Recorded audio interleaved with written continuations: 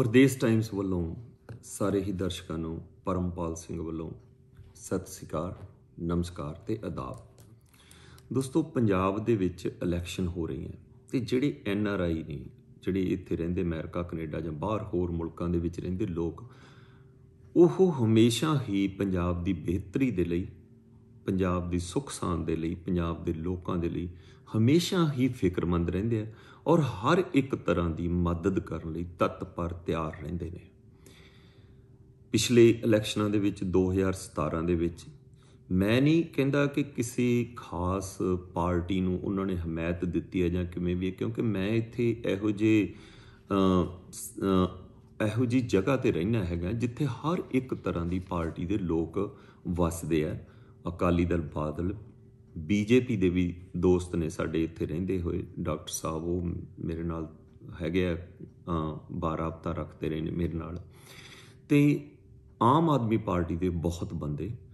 ਤੇ ਹੁਣ ਜਿਹੜਾ ਸੰਯੁਕਤ ਮੋਰਚਾ ਬਣਿਆ ਹੈਗਾ, ਕਿਸਾਨਾਂ ਦੇ ਵਿੱਚ, ਜਿਹੜਾ ਕਿਸਾਨ ਕਿਸਾਨ ਅੰਦੋਲਨ ਦੇ ਵਿੱਚੋਂ ਨਿਕਲਿਆ, ਉਹ ਲੋਕ ਵੀ ਇੱਥੇ ਆ, ਕਿਉਂਕਿ ਉਹ ਲੋਕ ਤਾਂ ਸਾਡੇ ਆਪਦੇ ਨੇ। ਆਸੇ-ਪਾਸੇ ਤੋਂ ਭਾਵੇਂ ਕਿਸੇ ਪਾਰਟੀ ਨੂੰ ਉਹ ਬਿਲੋਂਗ ਕਰਦੇ ਹੋਣ, ਭਾਵੇਂ ਕਿਸੇ ਪਾਰਟੀ ਦੇ ਵਿੱਚ ਉਹਨਾਂ ਦੀ ਰੁਚੀ ਹੋਵੇ, ਕਿਸੇ ਨੂੰ ਵੀ ਉਹਨਾਂ ਨੇ ਵੋਟ ਪਾਉਣੀ ਹੋਵੇ, ਉਹ ਸਾਡੇ ਆਪਦੇ ਲੋਕ ਨੇ।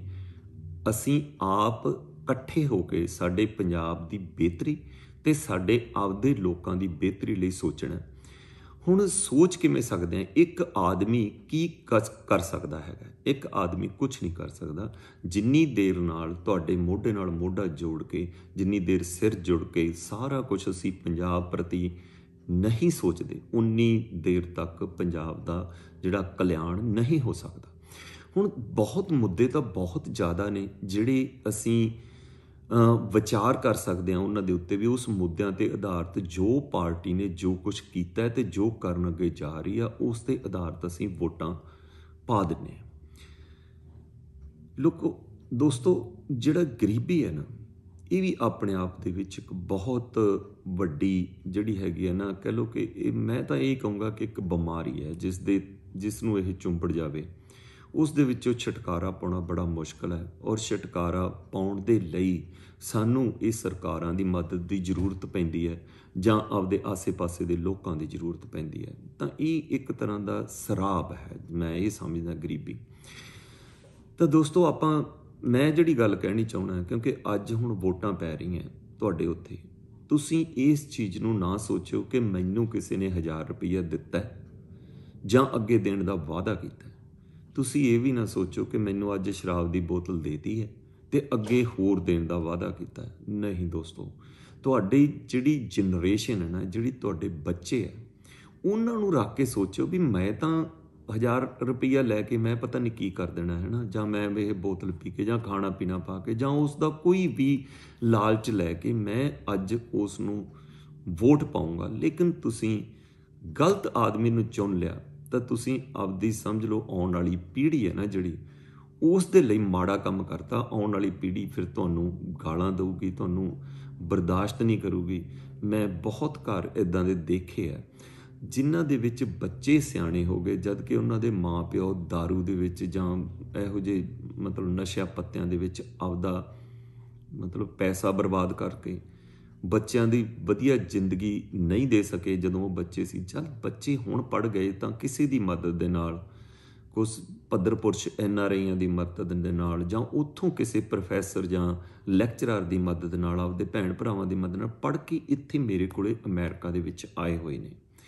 ਤਾਂ ਉਹ ਜਦੋਂ ਆ ਕੇ ਉਹਦੀਆਂ ਕਹਾਣੀਆਂ ਦੱਸਦੇ ਨਾ ਅਲਟੀਮੇਟਲੀ ਐਂਡ ਦੇ ਉੱਤੇ ਆ ਕੇ ਇਹੀ ਗੱਲ ਆਉਂਦੀ ਹੈ ਕਿ ਕਾਸ਼ ਕਿ ਸਾਡੇ ਜਿਹੜੇ ਹੈਗੇ ਨਾ ਨੇਤਾ, ਇਹੀ ਥੋੜਾ ਜਿਹਾ ਵਿਸ਼ਵਾਸ ਪਾਤਰ ਬਣ ਇਨ, ਇਹ, ਇਹਨਾਂ ਤੇ ਅਸੀਂ ਵਿਸ਼ਵਾਸ ਕਰ ਸਕੀਏ।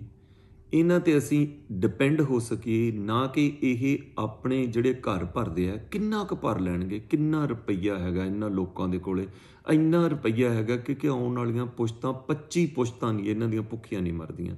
ਤਾਂ ਇਹਨਾਂ ਨੂੰ ਇਹ ਸੋਚਣਾ ਚਾਹੀਦਾ ਕਿ ਇਹ ਪੰਜਾਬ ਦੇ ਪੰਜਾਬੀਆਂ ਦੇ ਲਈ, ਪੰਜਾਬੀਅਤ ਦੇ ਲਈ ਕੀ ਕਰਦੇ ਆ? ਚਲੋ ਖੈਰ, ਮੈਂ ਦੂਜਾ ਮੋੜਾ ਨੇਤਾ ਤੇ ਨਾ ਲਿਆਵਾਂ, ਮੈਂ ਆਪਣੇ ਲੋਕਾਂ ਤੇ ਹੀ ਰਹਿਣਾ ਵੀ ਆਪਾਂ ਨੂੰ ਇਹ ਸੋਚਣਾ ਚਾਹੀਦਾ ਕਿ ਅਸੀਂ ਕਿਹੜੇ ਨੇਤਾ ਨੂੰ ਚੁਣ ਰਹੇ ਹਾਂ। ਦੇਖੋ, ਇਹਦੇ ਵਿੱਚ ਜ਼ਰੂਰੀ ਨਹੀਂ ਕਿ ਉਹ ਨੇਤਾ ਗਰੀਬ ਹੋਵੇ ਜਾਂ ਅਮੀਰ ਹੋਵੇ।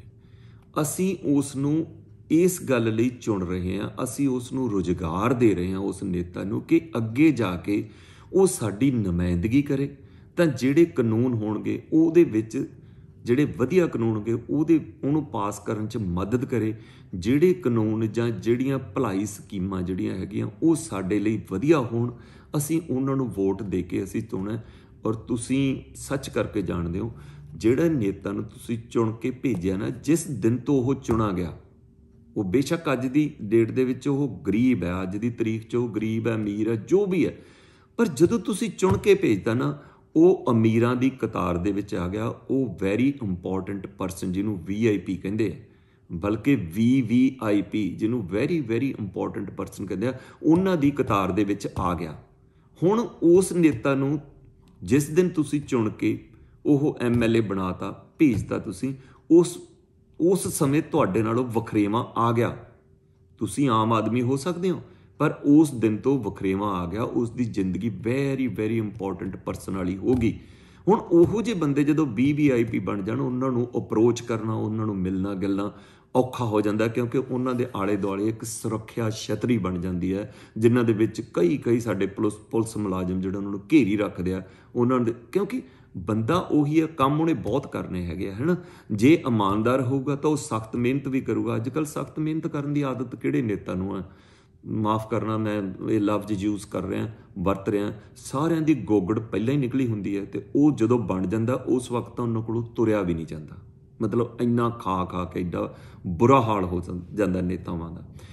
ਉਸ ਬੰਦੇ ਨੂੰ ਚੁਣੋ ਜਿਹੜਾ ਪੜਿਆ ਲਿਖਿਆ ਹੋਵੇ, ਭਲਾਈ ਸਕੀਮਾਂ ਨੂੰ ਸਮਝਦਾ ਹੋਵੇ, ਤੁਹਾਡੀ ਜ਼ਰੂਰਤਾਂ ਨੂੰ ਸਮਝਦਾ ਹੋਵੇ, ਤੁਹਾਡੇ ਸਿੱਖਿਆ ਦੇ, ਤੁਹਾਡੇ ਬੱਚਿਆਂ ਦੇ ਲਈ ਸਿੱਖਿਆ ਦਾ ਜਿਹੜਾ ਮਿਆਰ ਹੈ, ਉਸ ਨੂੰ ਵਧੀਆ ਤਰੀਕੇ ਦੇ ਨਾਲ ਸਮਝਦਾ ਹੋਵੇ, ਤੁਹਾਡੇ ਸਕੂਲ, ਤੁਹਾਡੇ ਹਸਪਤਾਲ। ਆ ਜਿਹੜੇ ਆਟਾ ਦਾਲ ਦੀਆਂ ਸਕੀਮਾਂ ਨੇ ਨਾ, ਇਹ ਦੋਸਤੋ, ਇਹ ਨਾ ਤੁਹਾਨੂੰ ਚੋਗਾ ਪਾਇਆ ਹੋਇਆ। ਕਹਿੰਦੇ ਹੁੰਦੇ ਆ, ਜਿਸ ਕੌਮ ਨੂੰ ਬਰਬਾਦ ਕਰਨਾ ਹੋਵੇ ਨਾ, ਇਹ ਬਹੁਤ ਵੱਡੇ ਰਾਈਟਰ ਦਾ ਇੱਕ ਦਾ ਲਿਖਿਆ ਹੋਇਆ ਕਿ ਜਿਸ ਕੌਮ ਨੂੰ ਬਰਬਾਦ ਕਰਨਾ ਹੋਵੇ, ਉਸ ਨੂੰ ਫ੍ਰੀ ਚੀਜ਼ਾਂ ਦੇਣੀਆਂ ਸ਼ੁਰੂ ਕਰ ਦਿਓ। ਤਾਂ ਉਹ ਇੰਨੀ ਜ਼ਿਆਦਾ ਅਵੇਸਲੀ ਇੰਨੀ ਜ਼ਿਆਦਾ ਨਕੰਮੀ ਹੋ ਜਾਂਦੀ ਆ ਉਹ ਕੌਮ ਕਿ ਉਹ ਕਦੇ ਉੱਠਦੀ ਨਹੀਂ। ਇਸ ਦੀ ਐਗਜ਼ਾਮਪਲ ਮੈਂ ਇੱਥੇ ਬੈਠਾ ਅਮਰੀਕਾ ਦੇ ਵਿੱਚ, ਦੱਸ ਹੀ ਦਿੰਨਾ ਤੁਹਾਨੂੰ, ਮੈਨੂੰ ਸੰਕੋਚ ਨਹੀਂ ਹੈ ਕੋਈ, ਕਿ ਜਿਹੜੇ ਇੱਥੋਂ ਦੇ ਜਿਹੜੇ ਕਾਲੇ ਲੋਕ ਨੇ ਇੱਥੋਂ ਦੇ, ਨੈਗਰੋ ਕਹਿ ਲੋ ਜਾਂ ਮੈਂ ਵੈਸੇ ਵਰਤ ਵਰਤਣਾ ਨਹੀਂ ਚਾਹੁੰਦਾ ਇਹ ਲਫ਼ਜ਼। ਜਾਂ ਤੁਸੀਂ ਐਂ ਕਹਿ ਲੋ ਕਿ ਇਹ ਲੋਕ ਹਨ ਜਿਹੜੇ ਇਹ ਬਹੁਤ ਜ਼ਿਆਦਾ ਸਪੋਰਟਸ 'ਚ ਤੁਸੀਂ ਦੇਖ ਲਓ ਅੱਗੇ ਆ ਸਾਰੇ ਪਾਸੇ, ਹਨ? ਤਾਂ ਇਹ ਬਹੁਤ ਜ਼ਿਆਦਾ ਜਰਵਾਣੇ ਨੇ, ਬਹੁਤ ਤਕੜੇ ਨੇ। ਪਰ ਇੱਥੋਂ ਦੇ ਜਿਹੜੇ ਰਾਜ ਕਰਨ ਵਾਲੇ ਲੋਕ ਸੀ, ਕਿਸੇ ਸਮੇਂ, ਅੱਜ ਦੀ ਗੱਲ ਨਹੀਂ ਕਰਦਾ, ਕਿਸੇ ਸਮੇਂ ਉਹਨਾਂ ਇਹਨਾਂ ਨੂੰ ਫ੍ਰੀ ਚੀਜ਼ਾਂ ਦੇਤੀਆਂ, ਇਹਨਾਂ ਲਈ ਰਿਜ਼ਰਵ ਕਰਤੀਆਂ ਚੀਜ਼ਾਂ, ਹੋਰ ਸਾਰਾ ਕੁਝ ਕਰਨਾ, ਤਾਂ ਉਹ ਅੱਗੇ ਨਹੀਂ ਆ ਰਹੇ। ਪਰ ਜਿਵੇਂ ਓਬਾਮਾ ਆਇਆ ਨਾ ਉਸ ਨੇ ਇਹ ਚੀਜ਼ ਦਿਖਾਤੀ ਕਿ ਮੈਂ ਇਹਨਾਂ ਸਾਰਿਆਂ ਵਰਗਾ ਨਹੀਂਗਾ, ਜਿਹੜੇ ਕਾਲਸ਼ੀਆ ਲੋਕ ਨੇ ਨਾ, ਕਾਲੇ ਲੋਕ ਨੇ, ਮੈਂ ਇਹਨਾਂ ਵਰਗਾ ਨਹੀਂਗਾ। ਬਲੈਕ ਪੀਪਲਸ ਜਿਸ ਤਰ੍ਹਾਂ ਦੀ ਜਨਰਲੀ ਅਸੀਂ ਉਹਨਾਂ ਲਈ ਸੋਚੇ ਜਾਂਦਾ, ਉਹਨਾਂ ਵਰਗਾ ਨਹੀਂਗਾ। ਤੇ ਜਿਹੜੀ ਹੁਣ ਸਾਡੀ ਵਾਈਸ ਪ੍ਰੈਜ਼ੀਡੈਂਟ ਹੈ ਅਮਰੀਕਾ ਦੀ, ਉਹ ਵੀ ਇਹ ਸਿਆਹ ਲੋਕ, ਲੋਕਾਂ ਦੇ ਵਿੱਚੋਂ ਹੀ, ਭਾਵੇਂ ਕਿ ਉਸ ਦਾ ਇੱਕ ਪੇਰੈਂਟਸ ਇੰਡੀਅਨ ਵੀ ਸੀਗਾ, ਉਹਦੇ ਵਿੱਚੋਂ, ਲੇਕਿਨ ਉਹ ਨਵੇਕਲੀ ਪੜ੍ਹੀ ਲਿਖੀ ਅੱਗੇ ਆਈ ਹੈ, ਕਿਉਂਕਿ ਉਸ ਨੂੰ ਮੌਕਾ ਦਿੱਤਾ ਸਾਡੇ ਇੰਡੀਅਨ ਜਿਹੜੀ ਇੱਕ ਪੇਰੈਂਟ ਉਹਦਾ ਇੰਡੀਅਨ ਸੀਗਾ, ਉਹਦੀ ਮਾਂ ਸੀ, ਉਸਨੇ ਆਪਣੀ ਜਿਹੜੀ ਸੀ ਨਾ ਜ਼ਿੰਦਗੀ ਦਾ ਤੇ ਲਾ ਕੇ ਆਪਣੀ ਇਸ ਕੁੜੀ ਨੂੰ ਮਤਲਬ ਕਿ ਸਿੱਖਿਆ ਦਿੱਤੀ। ਤਾਂ ਉਹ ਦੇਖ ਲਓ ਕਿੱਥੋਂ ਤੱਕ ਪਹੁੰਚੀ ਹੈ। ਤਾਂ ਮੇਰਾ ਐਗਜ਼ਾਮਪਲ ਦੇਣ ਦਾ ਇਹ ਹੈ ਕਿ ਨਾ ਕਿਸੇ ਲਾਲਚ ਚਾਹੋ ਛੋਟੀਆਂ-ਛੋਟੀਆਂ ਚੀਜ਼ਾਂ ਦੇ ਲਾਲਚ ਦੇ ਵਿੱਚ ਨਾ ਲਾਓ। 50 60 ਹਜ਼ਾਰ ਜੇ ਵੀ ਕੋਈ ਦਿੰਦਾ ਨਾ, ਇਹ ਕੋਈ, ਇਹ ਇਹ ਤੁਹਾਡੀ ਕਹਿ ਲਓ ਕਿ ਇੱਕ ਸਾਲ ਦੇ ਲਈ ਤੁਹਾਨੂੰ ਉਸਨੇ ਚੀਜ਼ ਦਿੱਤੀ, ਲੇਕਿਨ ਅਗਲੇ ਸਾਲਾਂ ਲਈ, ਅਗਲੇ ਸਾਲਾਂ ਲਈ ਤੁਸੀਂ ਕੀ ਕਰੋਗੇ? ਤਾਂ ਸਿਆਣੇ ਬਣੋ, ਪੰਜਾਬੀਓ, ਤੁਹਾਡਾ ਆਪਣਾ ਦਿਮਾਗ ਹੈ। ਤੁਸੀਂ ਬਹੁਤ ਜਰਵਾਣੀ ਕੌਮ ਹੋ, ਤੁਹਾਡਾ ਵਿਰਸਾ ਬਹੁਤ ਤਕੜਾ ਤੁਸੀਂ ਜੇ ਕਦੇ ਆਪਣੇ ਵਿਰਸੇ ਬਾਰੇ ਪੜੋ ਇਹ ਸਭ ਤੁਹਾਨੂੰ ਭੁਲਾ ਦਿੱਤਾ ਗਿਆ। ਆ ਜਿਹੜੇ ਆਟੇ ਦਾਲਾਂ ਦੀਆਂ ਸਕੀਮਾਂ ਤੇ ਜਿਹੜੇ ਹਜ਼ਾਰ ਹਜ਼ਾਰ ਰੁਪਈਆ ਦੇਣ ਵਾਲੇ 2-2000 ਰੁਪਈਆ ਦੇਣ, ਤੁਹਾਨੂੰ ਠੀਕ ਹੈ, ਇਹ ਜਿਹੜੀ ਸਕੀਮ ਹੈਗੀ ਆ ਕਿਸੇ ਦੀ, ਲੈ ਲਓ, ਜੇ ਕੋਈ ਅੱਗੇ ਆਉਂਦਾ, ਉਹ ਮਦਦ ਲੈ ਲਓ। ਪਰ ਇਹਦੇ ਤੇ ਡਿਪੈਂਡ ਨਾ ਕਰੋ, ਇਹਦੇ ਤੇ ਨਿਰਭਰ ਨਾ ਕਰੋ ਕਿ ਸਾਨੂੰ ਇਹਨੇ 1000 ਰੁਪਏ ਦਿੱਤਾ ਤੇ ਅਸੀਂ ਨਹੀਂ ਵਿਚਾਰੋ। ਚਾਰ ਗੱਲਾਂ ਮੈਂ ਤੁਹਾਨੂੰ ਦੱਸੂਗਾ ਵੀ ਜਿਸ ਦੇ ਵਿੱਚ ਤੁਸੀਂ ਨੇਤਾ ਦੇਖਣਾ ਹੋਵੇ, ਕਿਵੇਂ ਦੇਖਣਾ ਤੁਸੀਂ। ਸਾਰਿਆਂ ਨਾਲੋਂ ਪਹਿਲੀ ਗੱਲ ਤਾਂ ਜਿਵੇਂ ਅਸੀਂ ਪਹਿਲਾਂ ਅਨਪੜ੍ਹ ਸਿੱਖਿਆ ਮੰਤਰੀ ਚੁਣਦੇ ਰਹੇ ਹਾਂ ਨਾ, ਜਿਹੜੇ ਬਾਅਦ ਚ ਸਿੱਖਿਆ ਮੰਤਰੀ ਬਣ ਜਾਂਦੇ ਨੇ ਏਲ ਦਾ ਨਾ ਕੁੱਕੜ ਨਹੀਂ ਆਉਂਦਾ। ਸਾਰਿਆਂ ਨਾਲੋਂ ਪਹਿਲਾਂ ਇਹ ਚੀਜ਼ ਸਿੱਖੋ ਕਿ ਜਿਹੜਾ ਤੁਸੀਂ ਐਮਐਲਏ ਚੁਣ ਰਹੇ ਹੋ, ਉਹ ਪੜਿਆ ਲਿਖਿਆ। ਦੂਸਰੀ ਗੱਲ ਕਿ ਉਸ ਦਾ ਪਿਛਲਾ ਕਿਰਦਾਰ, ਜੇ ਉਹ ਪੁਰਾਣੀ ਪਾਰਟੀ ਦਾ, ਅਕਾਲੀ ਦਾ, ਕਾਂਗਰਸਾਂ ਦਾ ਜਾਂ ਕਾਮਰੇਡਾਂ ਦਾ ਜਾਂ ਕਿਸੇ ਵੀ ਪਾਰਟੀ ਦਾ, ਉਹਦਾ ਜੇ ਪੁਰਾਣਾ ਕਿਰਦਾਰ, ਜੇ ਉਹਦੇ ਕੋਲੇ ਚਾਰ ਬੰਦੇ ਜ਼ਿਆਦਾ ਉਹਦੇ ਅੱਗੇ ਪਿੱਛੇ ਚਾਪਲੂਸੀ ਕਰਦੇ ਫਿਰਦੇ ਆ, ਵੀ ਉਹ ਜਿੱਤੂਗਾ ਵੀ ਇਹ ਨਹੀਂ, ਜ਼ਰੂਰੀ ਨਹੀਂਗਾ ਇਹ। ਉਹਦਾ ਕਿਰਦਾਰ ਦੇਖ ਕੇ ਉਹਨੂੰ ਵੋਟ ਦਿਓ ਕਿ ਕੀ ਕਰੂਗਾ। ਤੀਜੀ ਗੱਲ, ਕਿ ਉਸ ਪਾਰਟੀ ਦਾ, ਜਿਸ ਪਾਰਟੀ ਦਾ ਉਹ ਨੁਮਾਇੰਦਾ, ਉਸ ਪਾਰਟੀ ਦਾ ਚੋਣ ਮੈਨੀਫੈਸਟੋ ਕੀ ਹੈ? ਕੀ ਉਹ ਸਾਡੇ ਲਈ ਕੀ ਕਰਨਗੇ ਤਾਂ ਕਿ ਉਹਨਾਂ ਨੂੰ ਬਾਅਦ ਦੇ ਵਿੱਚ ਪਕੜਿਆ ਜਾ ਸਕੇ ਵੀ ਦੱਸਿਆ ਤੁਸੀਂ ਆ ਸੀ ਤੇ ਆ ਆ ਰਿਹਾ ਦੇਖੋ, ਮੈਂ, ਮੈਨੂੰ ਥੋੜੀ ਜੀ ਜਿਹੜੀ ਇੰਡੀਕੇਸ਼ਨ ਮਿਲੀ ਹੈ, ਮੈਂ ਉਹ ਵੀ ਇੱਥੇ ਸਾਫ਼ ਤੌਰ ਤੇ ਕਹਿਣਾ ਚਾਹੁੰਦਾ ਉਹ ਸਾਰੀਆਂ ਪਾਰਟੀਆਂ ਹਾਰ ਰਹੀਆਂ ਨੇ, ਜਿਨ੍ਹਾਂ ਨੇ ਚੋਣ ਮੈਨੀਫੈਸਟੋ 2017 ਦੇ ਵਿੱਚ ਕੀਤੇ ਸੀ, ਵਾਅਦੇ ਨਹੀਂ ਪੂਰੇ ਕੀਤੇ। ਲੋਕ ਇੰਨੇ ਨਕੰਮੇ ਨਹੀਂ, ਲੋਕ ਸਾਡੇ ਭੁੱਲਣਹਾਰ ਜ਼ਰੂਰ ਹੈ, ਬੜੀ ਜਲਦੀ ਭੁੱਲ ਜਾਂਦੇ ਆ, ਪਰ ਨਕੰਮੇ ਹੈ ਨਹੀਂ।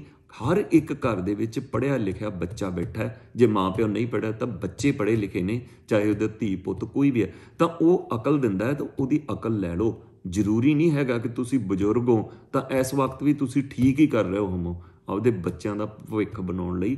ਉਹਨਾਂ ਦੀ ਵੀ ਸੁਣੋ, ਇੱਕ ਚੀਜ਼ ਹੋਰ ਦੱਸਦਾ ਤੁਹਾਨੂੰ, ਇਹ ਨਾ ਦੇਖੋ, ਇਹ ਨਾ ਦੇਖੋ ਕਿ ਇਸ ਪਾਰਟੀ ਜਿਹੜੀ ਹੈਗੀ ਹੈ ਨਾ, ਇਹ ਜੀ ਪੰਜਾਬੀ ਨੇਗੇ, ਇਹ ਜੀ ਦਿੱਲੀ ਤੋਂ ਆ ਰਹੇ ਆ, ਇਹ ਜੀ ਫਲਾਨਾ ਕਰ ਰਿਹਾ ਦੇਖੋ ਜਿਹੜੀਆਂ ਪਿਛਲੀਆਂ ਪਾਰਟੀਆਂ ਸੀਗੀਆਂ, ਉਹ ਵੀ ਦਿੱਲੀ ਬੈਠਾ, ਮਤਲਬ ਕੰਟਰੋਲ ਕੀਤਾ। ਉਹਨਾਂ ਦਾ ਕੰਟਰੋਲ ਰੂਮ ਵੀ ਦਿੱਲੀ ਸੀ। ਭਾਵੇਂ ਜਿਹੜੀਆਂ ਮਰਜ਼ੀ ਪਾਰਟੀ ਸੀ, ਜਿਹੜੀ ਬੀਜੇਪੀ ਨਾਲ ਰਲੀ ਹੋਈ ਸੀਗੀ, ਉਹਦੇ ਵੀ ਉੱਥੇ ਹੀ ਸੀਗਾ ਕੰਟਰੋਲ ਰੂਮ ਜਿਹੜੀ ਅੱਜ ਜੇ ਕੋਈ ਆ ਰਹੀ ਹੈ ਤਾਂ ਉਹ ਜੇ ਦਿੱਲੀ ਹੈਗਾ, ਤਾਂ ਕੋਈ ਨਹੀਂ। ਤੁਹਾਨੂੰ ਇੱਕ ਉਦਾਹਰਨ ਦੇਣਾ ਮਹਾਰਾਜਾ ਰਣਜੀਤ ਸਿੰਘ ਨੇ ਜਦੋਂ ਇਹ ਪਤਾ ਲੱਗਾ ਕਿ ਮੇਰੀ ਜਿਹੜੀ ਹੈਗੀ ਹੈ ਨਾ ਫੌਜ, ਇਸ ਨੂੰ ਆਧੁਨਿਕ ਹਥਿਆਰਾਂ ਦੀ, ਆਧੁਨਿਕ ਹਥਿਆਰਾਂ ਦੀ ਵਰਤੋਂ ਦੀ ਜਾਂ ਆਧੁਨਿਕ ਤਕਨੀਕਾਂ ਦੀ ਜ਼ਰੂਰਤ ਹੈ, ਤਦ ਮੈਂ ਜਾ ਕੇ ਆਹ ਮਤਲਬ ਆਪਣੀਆਂ ਜੰਗਾਂ ਜਿੱਤ ਕੇ ਆਪਦੇ ਨੂੰ, ਆਪਦੇ ਰਾਜ ਨੂੰ ਖੁਸ਼ਹਾਲ ਕਰ ਸਕੂੰਗਾ। ਤਾਂ ਸੱਚ ਕਰਕੇ ਜਾਣੇ ਉਸਨੇ ਫਰਾਂਸ ਤੇ ਬ੍ਰਿਟੇਨ ਤੇ ਅਮਰੀਕਾ ਦੇ ਜਨਰਲ ਜਰਨੈਲਾਂ ਨੂੰ ਨਾਲ ਲਿਆ ਆਪਦੇ। ਤਾਂ ਤੁਰਕ ਦੇ ਵੀ, ਮਤਲਬ ਜਿੰਨੇ ਵੀ ਵਧੀਆ ਜਰਨੈਲ ਸੀ, ਉਹਨਾਂ ਨੂੰ ਜ਼ਿਆਦਾ ਪੈਸੇ ਦੇ ਕੇ ਉਹਨਾਂ ਨੂੰ ਅਫਸਰ ਨਿਯੁਕਤ ਕੀਤਾ।